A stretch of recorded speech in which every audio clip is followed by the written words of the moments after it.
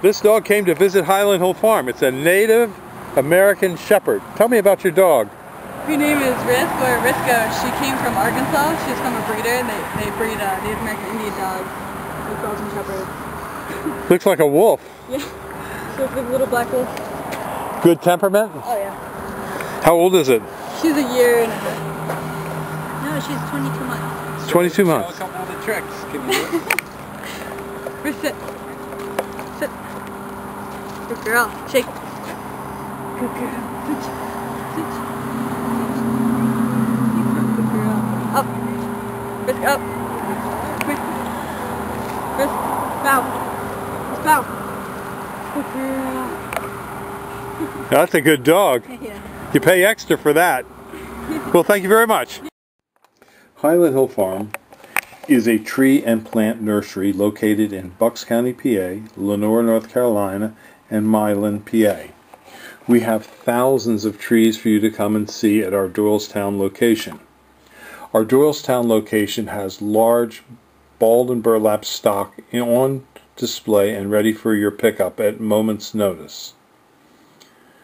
We can deliver and install, and we do deliver and install to most eastern U.S. states.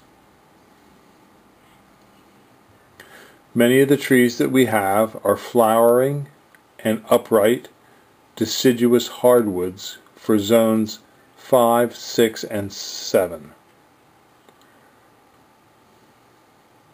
We have thousands of trees that we can dig, and we do ship wholesale and retail. These are our river birch trees. This is a heritage river birch tree in the field. We also grow many different types of cultivars. And we also have some larger Japanese red maples and green maples for sale. We grow thousands of evergreens like Norway spruce, and we have a cut tree operation in Doylestown, so at Christmas time you can cut your own tree. We specialize in a lot of screens and buffers and therefore sell many arborvitaes. We have emerald greens, green giants, Techny, Niagara, and a host of others that are unusual and hard to find. Again, we do deliver and plant to U.S. eastern states, and we also have some seedlings and transplants for sale, which we can ship on our trucks or by UPS. We also have equipment that you can borrow to plant our seedlings with. So give us a call at 215 651 8329. Thank you.